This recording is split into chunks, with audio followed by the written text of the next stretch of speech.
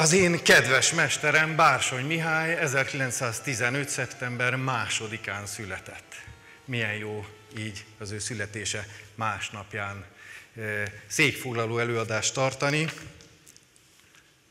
és ebből már adódik az is, ennek megfelelően mondandóm középpontjába az ősök tisztelete, a tudás átadása és átvétele, a jövő reménysége kerül.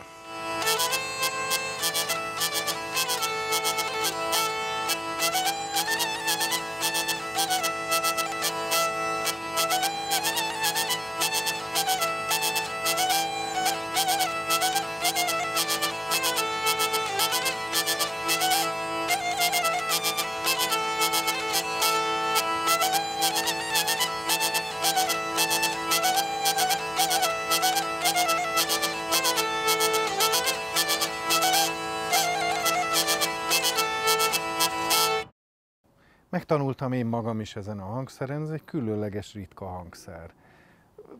Rögtön azt vettem észre, hogy elkezdi a környezetemet is érdekelni. Mi ez a különlegesség, ami ott van a kezemben? De érdekesen szól. Hát akkor azt el kell magyarázni. Akkor esetleg érdemes megtanítani másokat is. Érdemes olyan művészi produkciókat színpadon csinálni, magyarul úgy zenélni, hogy, hogy az fölkeltse az érdeklődést mások iránt. Na de akkor már létrejön egy közösség, akkor azt a közösséget érdemes valahogy összetartani.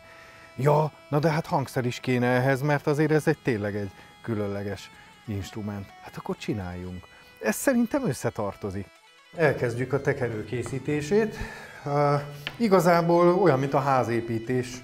Kell legyen egy alapja, felépítményei, aztán majd összeáll egy, egy olyan hangszertest, amiben hangot teszünk. Föl kell rajzolni magának a hangszernek a formáját.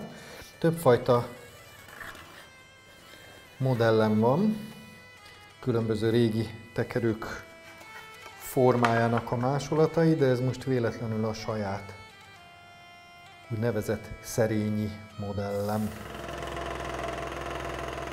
Alapvető alkatrészeket kifűrészeltük.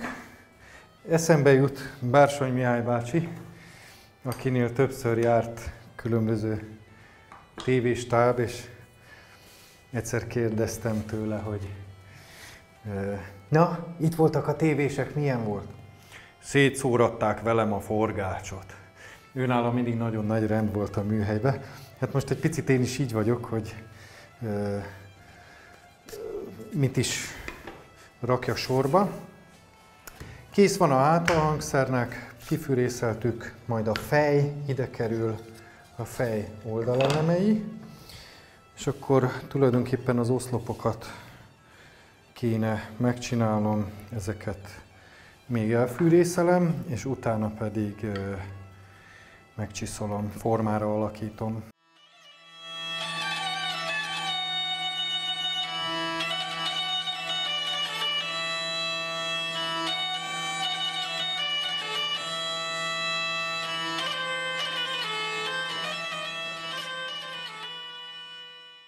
Szerényi Béla egy kivételesen magas zenei intelligenciájú, tájékozottságú, műveltségű ember, és az, amit én kül különlegesen értékelek a Bélában, és szeretek a Bélában, mind kollégában, nem csak mint barátban, hogy annak ellenére, hogy hogy nagyon-nagyon alaposan, mélyen tanulmányozza a magyar zene gyökereit, mégis rugalmasan tudja kezelni, mégis nyitottan áll a jövőképhez, a jövőbeni hangzásokhoz mer kísérletezni.